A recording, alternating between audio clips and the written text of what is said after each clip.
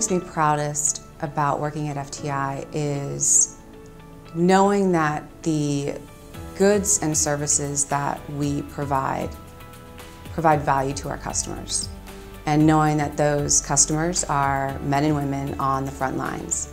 And as the daughter of a veteran, but never in active military myself, it's nice to know that what I do gives back. Maybe in a different way than, than my dad's service, but nonetheless contributes to those efforts. The Most important thing uh, for me for working here at FTI is the ability to work with our team. Uh, when I first came to FTI, out of this office, we were about 100, 100 employees. Uh, we've tripled in size, uh, and the, and, the, fact is because of the people, the hardworking men and women that we've been able to bring on, uh, and again, because of our solution set that we can offer, our SBIR data analytic tools are uh, second to none from a technology perspective, but also couple that with our agile contracting solution, we're able to provide our customers with something that a lot of our competitors cannot.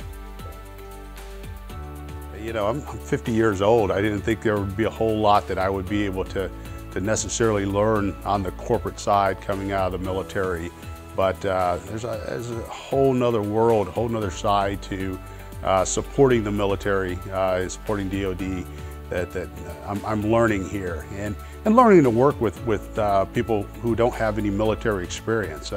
Uh, just seeing things from their perspective, uh, there have some very, very smart people here.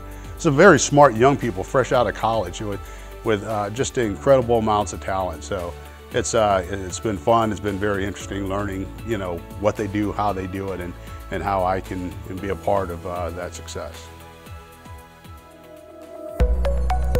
Frontier Technology Incorporated.